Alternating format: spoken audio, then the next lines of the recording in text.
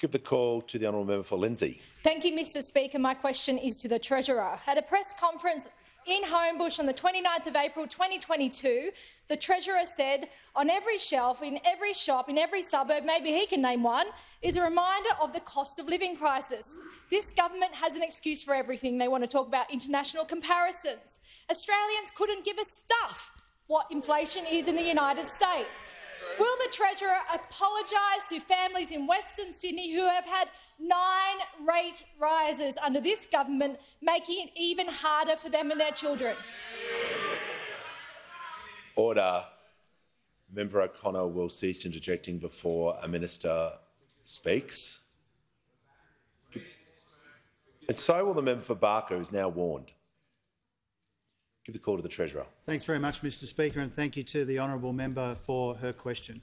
Uh, isn't it interesting, Mr Speaker, when those opposite talk about interest rate rises, they say there's been nine in a row. They seem to conveniently left off the fact that there's been ten in a row and they began Order. before government changed hands in May. That's just Order. the fact of the matter, Mr Speaker. As much as you might try and deny it, Order. that is the, the fact of the matter.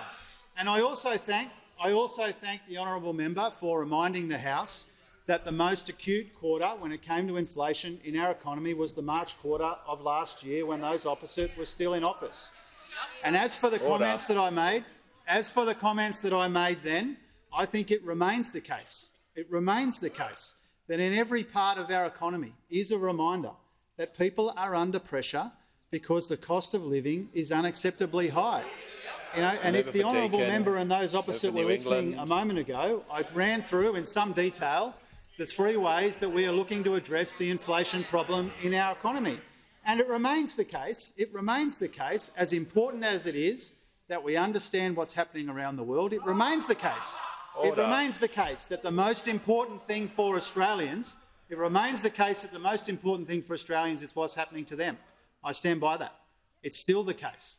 And that's why uh, the overwhelming focus of our economic plan, the overwhelming focus of our cabinet, the overwhelming focus of everybody here is the cost of living pressure Order. that people are left. under.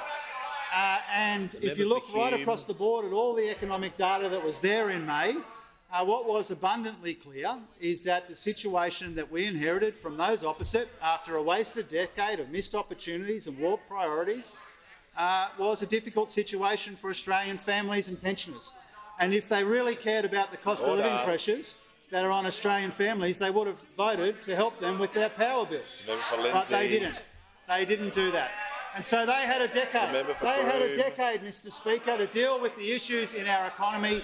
They wasted that decade with their messed up priorities. We inherited a mess from those opposite.